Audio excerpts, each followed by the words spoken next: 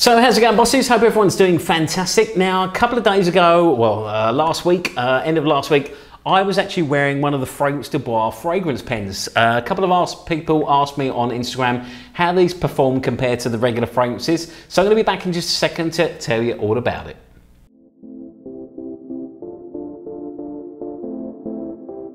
So welcome back, you're watching the Luxury Fragrance Boss channel. My name's Scott, of course I'm the Luxury Fragrance Boss. Now last week, as I said, I had a full wearing of one of the fragrance pens from Fragrance du Bois. The one that I chose to wear, I've actually got three of these. Um, I've got Oud Vert, Oud Violet Intense, which they kindly sent me with my bottle of Oud Violet and also Sahraa Oud as well, which I absolutely adore Sahraa Oud. And as I don't have a bottle of it, I've still got a little bit left of the um, of the sample that they sent me, but I thought I'd give the pen a good wearing. So I thought I'd try that out, try out the, um, try out the oil pens. Um, these retail uh, around, I think it's 50 pounds, somewhere around that sort of mark. So probably about 60 US dollars, but some somewhere around that sort of that price range. So I thought it'd be a good idea to do a review of these because as I said, I had a couple of people ask me how these perform compared to the fragrances.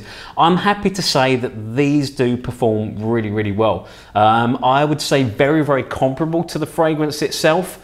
Um, I mean, the way these work is pretty much got a little brush here um, and then you press the, oh, the lid's running across the desk there. Um, you just press the little button that's on there and it oozes out a little bit of oil. I'm not gonna do it right now because I don't wanna waste the oil that's inside there.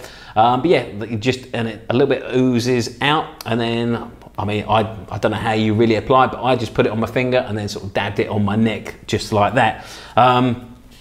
Now, at first I thought it was a little bit weaker. I couldn't smell it just to begin with, but I think that was where I was driving to work and the air conditioning was probably blowing it away from me.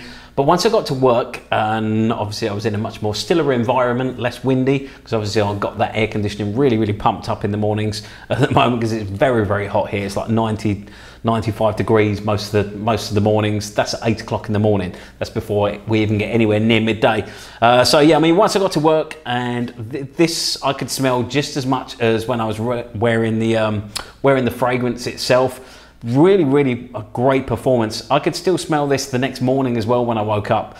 So I mean, fantastic as far as longevity. Projection, I would say, is probably a tiny only tiny bit softer than the, uh, the regular fragrance. Sahraa Oud is quite a powerful fragrance. This was definitely not lacking in strength though. I mean, I could smell this very, very clearly. In fact, because this one's a little bit unique, I would definitely say that this one is a unique fragrance. One of the reasons that I do love Sahraa Oud is because of its uniqueness. Um, there was actually times in the day where I I'd suddenly smell something. I think, oh God, I really like the smell of that. I, I don't know what that is, and then I realise it's actually me. So um, that's one of the one of the things that I really do love about this fragrance. But yeah, I'm happy to say the pens, as far as performance goes, they are very very comparable to, um, as I said, to the actual fragrance itself. So I mean, top marks really. Um, these are also fantastic for traveling. It means you don't need to sort of have small bottles or put them in plastic bags and things like that because it's oil. So I mean, fantastic for taking on planes and have it in your handbag or I mean, a man bag, I guess. I don't really tend to carry a man bag, some guys do. Um, so I mean, that's my thoughts on the fragrance pens. Let me know if you've tried any of the fragrance pens um, as well as um, the other fragrances as well to be able to compare them to. Let me know what you think in the comments section below. As usual, please like, comment and subscribe.